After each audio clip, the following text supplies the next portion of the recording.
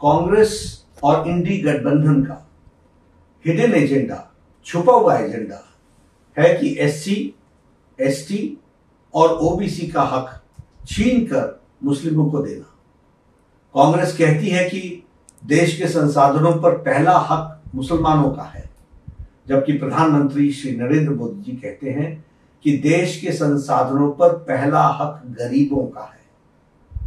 दिसंबर 2006 को national development council को संबोधित करते हुए प्रधानमंत्री मनमोहन सिंह ने कहा था, और मैं याद दिलाना चाहता हूँ कि we will have to devise innovative plans to ensure that minorities particularly the Muslim minority are empower to share equitably in the fruits of development they must have the first claim on resources Manmohan Singh ji ने यह बयान गलती से नहीं दिया था, बल्कि जानबूझकर दिया था, क्योंकि अप्रैल 2009 में फिर से मनमोहन सिंह ने मुंबई में प्रेस कॉन्फ्रेंस के दौरान एक प्रश्न के जवाब देते हुए फिर अपने बयान को सही ठहराया और कहा कि माइनॉरिटीज का खासकर मुस्लिमों को प्रायोरिटी मिलनी चाहिए और उनको संसाधनों देश के संसाधनों पर पहला हक होना चाहिए।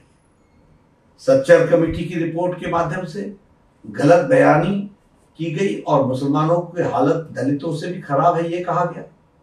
मतलब यह है कि कांग्रेस पहले से ही आधार बना रही थी कि येन केन प्रकारेण मुस्लिम को एससी, अनुसूचित जाति घोषित कर मुसलमानों को एससी आरक्षण की वैधता दिला दी जाए। कांग्रेस की एससी, एसटी और ओबीसी के अधिकारों पर डाका डालने की यह आदत बहुत पुरानी है। यहाँ तक कि बाबा साहब भीमराव अंबेडकर ने 27 अक्टूबर 1951 को कहा था कि पिछले 20 वर्षों में पंडित नेहरू ने 2000 भाषण दिए हैं, लेकिन उन्होंने एक बार भी अनुसूचित जाति के कल्याण के बारे में बात नहीं की है। इससे आप अंदाज़ा लगा सकते हैं कि कांग्रेस पार्टी को हमारे लोगों के प्रति कितनी सहानुभूति है। पंडित नेहरू हमेशा मुसलमानों के पक्ष में रहते हैं। मैं नहीं चाहता कि मुसलमानों की अपेक्षा हो। कदापि हम नहीं चाहते कि मुसलमानों की अपेक्षा हो। लेकिन मैं यह ज़रूर चाहता हूँ कि मुसलमानों को अन्य समुदायों की कीमत पर अनुचित लाभ नहीं उठाना चाहिए। जिन्हें अधिक सुरक्षा की आवश्यकता है, उन्हें ही लाभ मिलना चाहिए। कांग्रेस ने राष्ट्रीय धार्मिक और भाषाई अल्पसंख्यक आयोग का गठन कर यह साजिश रची कि मुसलमानों में भी जाति है। इसलिए उनमें भी एससी माना जाए और एससी लिस्ट में आरक्षण दिया जाए। कोई एससी अगर धर्म बदलकर मुसलमान बनता है तो उसका एससी दर्जा बना रहे। साथ ही ओबीसी के 27 परसेंट से 6 परसेंट काट कर मुसलमानों को आरक्षण दिया जाए। कांग्रेस ने कोर्ट के कानून को बदलकर एएमयू जामिया मिलिया जैसे संस्थानों में S C S T OBC reservation को खत्म किया।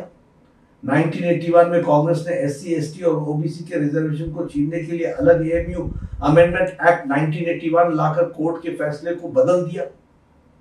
कांग्रेस सभी जातियों को ओबीसी यानी सामाजिक और शैक्षणिक रूप से पिछड़ा बता रही है।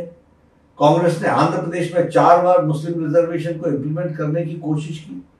सुप्रीम कोर्ट के इंटरवेंशन के कारण कांग्रेस सरकार इसे लागू नहीं कर पाई। 2009 में लोकसभा इलेक्शन में अपने मैनिफेस्टो को कांग्रेस ने जॉब और एजुकेशन में मुसलमानों को नेशन वाइड रिजर्वेशन देने की प्रॉमिस किया था। कांग्रेस चाहती थी कि ओबीसी रिजर्वेशन के अंदर मुस्लिम के लिए अलग से सब कोटा हो।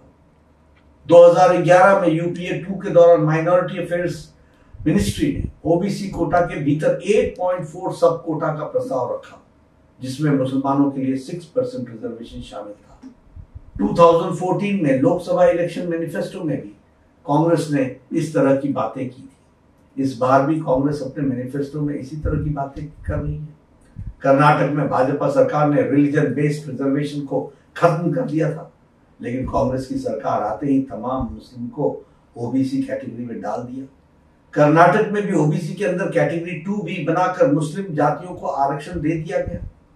कांग्रेस ने अपने मैनिफेस्टो में कहा है कि देश के बहुसंख्यकवाद की कोई जगह नहीं है। मतलब उन्होंने एससी एसटी ओबीसी से सख्त नफरत है, क्योंकि देश में बहुसंख्यक आबादी इन्हीं गरीब लोगों की है, इन्हीं वर्गों की है। ये कांग्रेस का मैनिफेस्टो है और ये कांग्रेस का इंटेंशन